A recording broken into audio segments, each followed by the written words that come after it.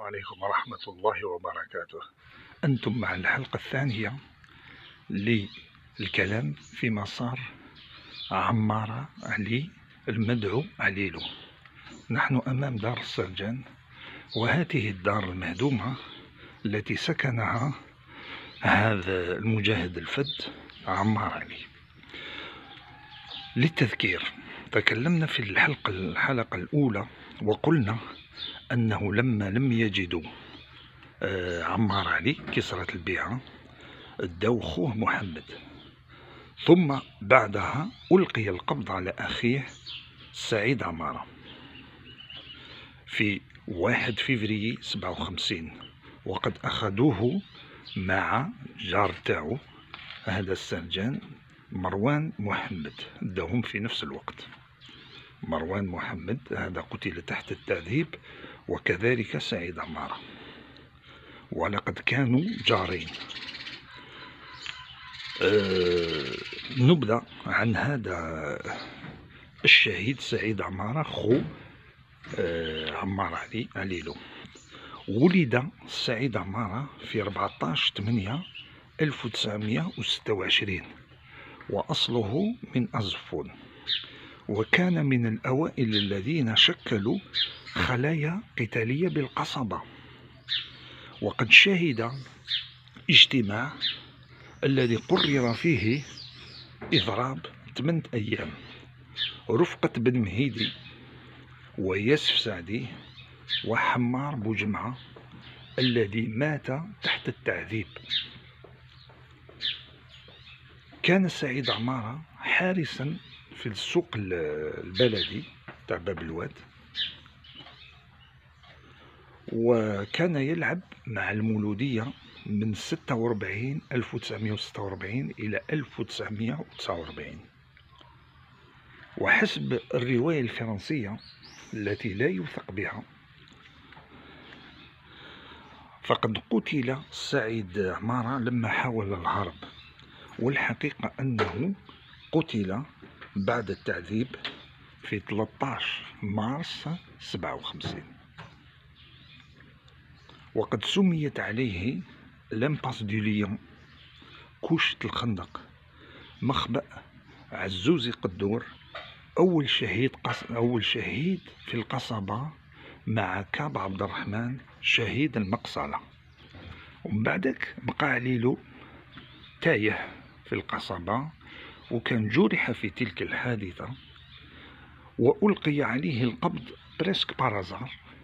كانوا يديروا des tournées قبضوا عليه. كان منهك ومجروح في أوت 57 بعد أن كان مجروحا في حادثة إلقاء القبض على جميل أبو حيرت. فكان تائها منقطعا عن ياسف سعدي وباقي الجماعة حين هروبهم. وللعلم فقد عذب هذا عمار علي عذاب لم يعذب به واحد ملي طاح في يد فرنسا. مورست عليه كل أنواع العذاب.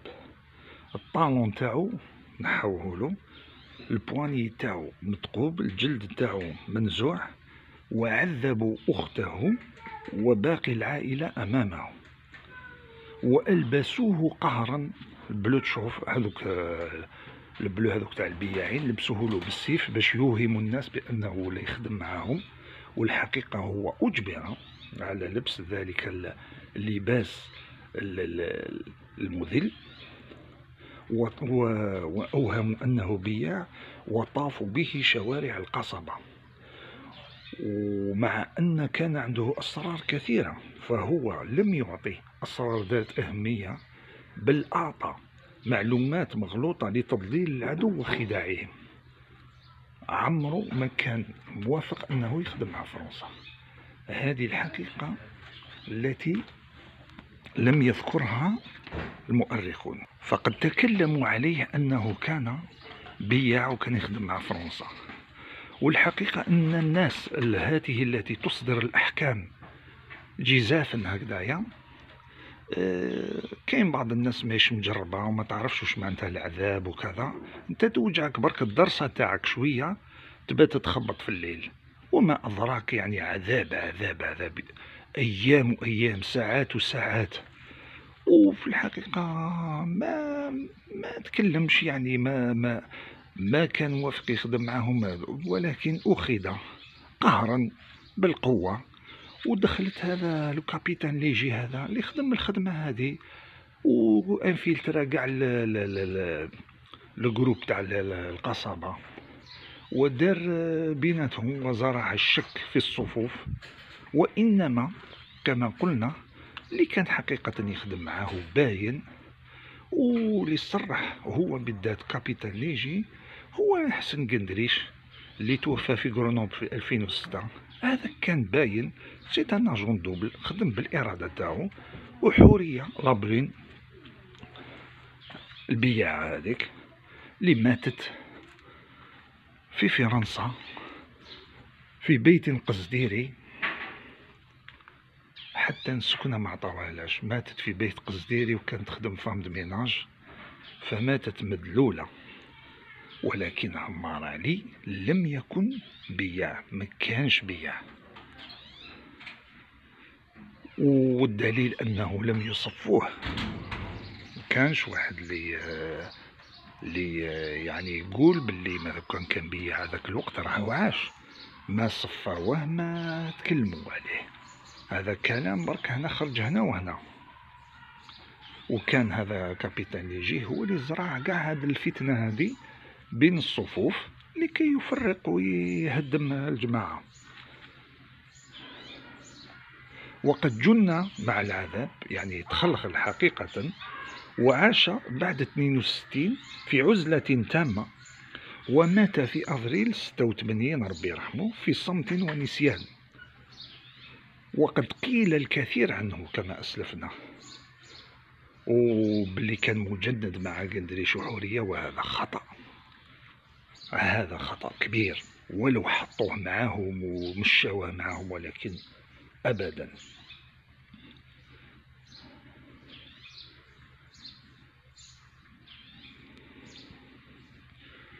وقندريش تكلم عليه كابيتان ليجي قال لك خدم معنا بالتواطؤ وكلش حتى الحورية نفس الشيء.